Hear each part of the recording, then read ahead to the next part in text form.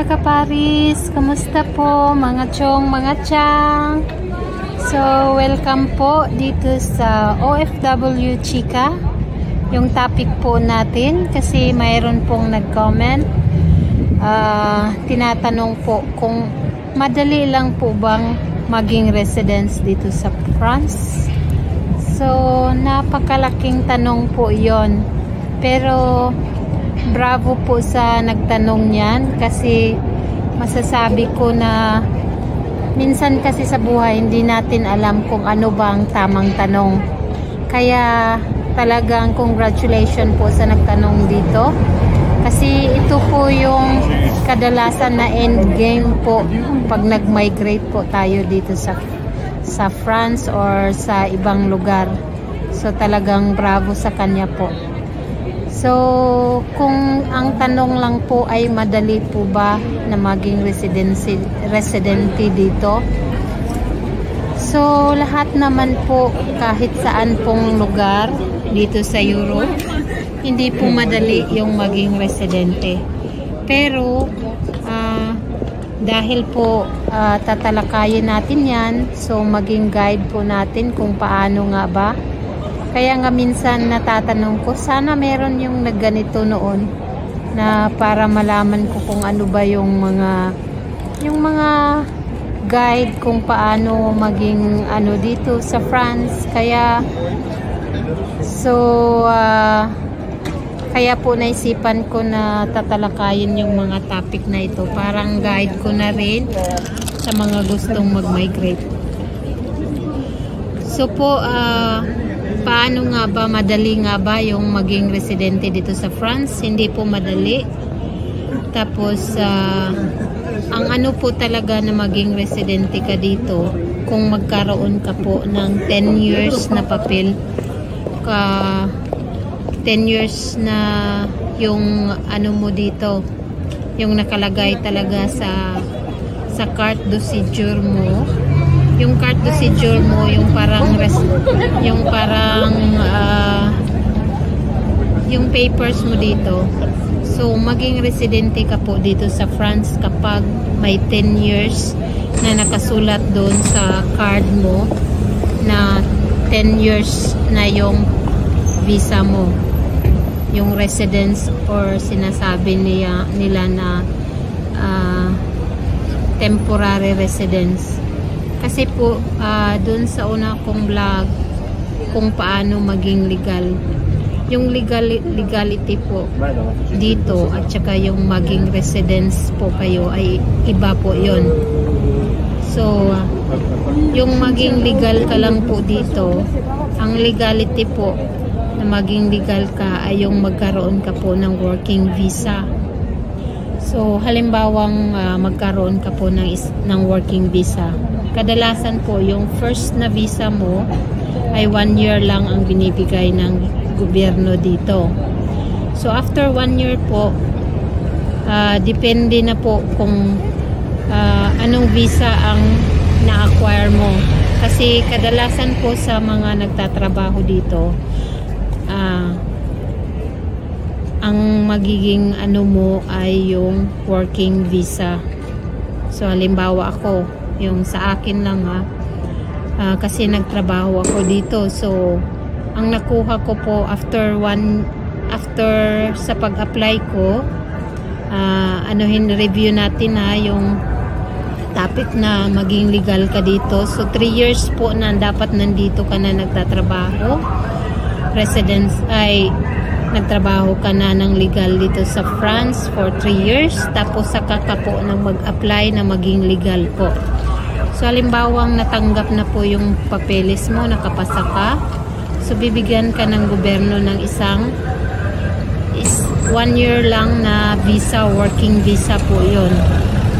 So, after one year, i-renew mo po yon. So, depende sa anong visa type yung nakuha mo. Gaya ko, uh, working visa. So, pag-renew ko po ng working visa for one year, pag So, ayan po. Uh, pag, nagre pag nabigyan na po kayo ng one year, so, after yung expiry date doon sa one year, magre-renew na po ulit kayo. So, sa second renew nyo po, uh, pag kumpleto po lahat ng papeles nyo, requirements, kasi may mga requirements yon pag nakuha mo po yon lahat, so bibigyan ka po ng 4 years sa second ay sa sa second renew mo po ito. So, mayroon silang mga requirements na dapat mong uh, makumpleto, yung mga diploma, uh, certificate. Pag nakumpleto mo lahat yon uh, tapos pasok ka pa rin sa declare na minimum na sinasabi nila. So, sa second rin, sa first renew mo po, bibigyan ka po ng 4 years na working visa.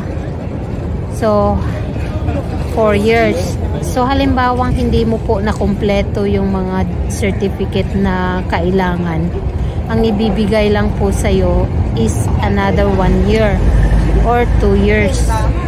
So, oh, ganyan. Tapos, pag sa susunod mo na naman na renew, dapat kumplituhin mo na yon So, bibigyan ka ng 4 years na naman.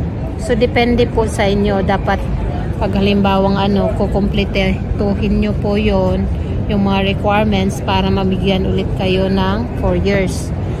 So, halimbawang gaya ko, tapos na ako ng 4 years. So, magre-renew na po kayo. Uh, natapos na yung 4 years na working visa nyo. So, re-renew nyo, nyo na yun. So, yung time na po na yun, uh, Bale, pwede na po kayong mag-apply ng residence dito sa France. Kaso po, kailangan din po na may mga requirements na dapat na makukuha mo rin po. Halimbawa, sa pag-apply ng uh, ah, 10 years o kailangan ng uh, certificate po na uh, diploma sa school na marunong na kayong magsalita ng French. So, yan po ang pinaka-importante. Pero marami pa rin po, maliban po sa dyan.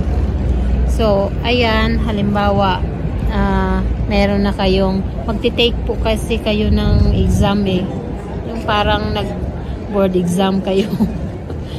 Pero ano lang po, uh, hindi naman po yung talagang uh, napakataas ng ano, kailangan lang ng gobyerno na nandito kayo sa France, kaya kailangan talagang matuto kayo mag uh, speak ng language nila. Kaya yung diploma, isa po yun sa pinaka na importante para makakuha ng residence po dito.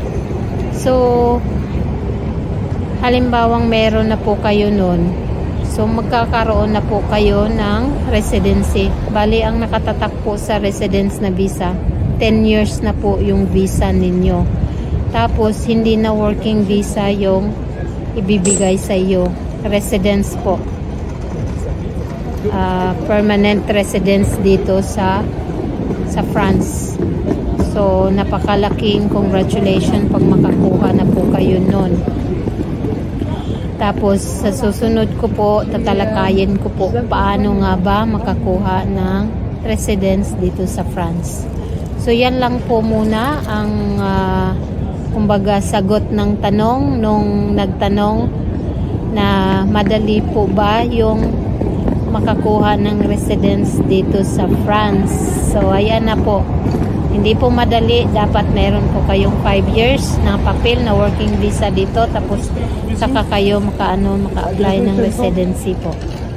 So, salamat po so, yung doon sa mga nagsubaybay sa topic ng OFW Chika para malaman nyo po kung paano ba ang sitwasyon dito, paano gumalaw para before kayo mag-migrate dito, alam mo kung paano yung pasikot-sikot. So, panoorin nyo po yung iba kong vlog sa OFW Chika para before kayo mag-migrate sa isang lugar, alamin nyo po kung ano ang mga dapat uh, uh, do's and don'ts sa isang lugar. So, thank you guys for watching. And, uh, tatalakayin natin sa susunod paano yung proseso na maging residence, residence dito sa France. So, thank you for watching guys. Sa susunod na vlog, iksiin lang natin ito. And, uh, God bless sa lahat. Uh, Shout out kay Bis Ducklin sa laging pagsubaybay, kay Sir Terol at saka yung sa mga bagong nagsusubaybay po. Salamat and thank you. God bless. See you on my next vlog. Bye! Ayan, iikot ko muna kayo dito. Dito po yung pantyong. Diba ang ganda? Ayan. Tapos merong simbahan doon sa likod. Ayan, iikot ko lang kayo ng konti. So, ito po yung napakagandang lugar sa France. Bye-bye!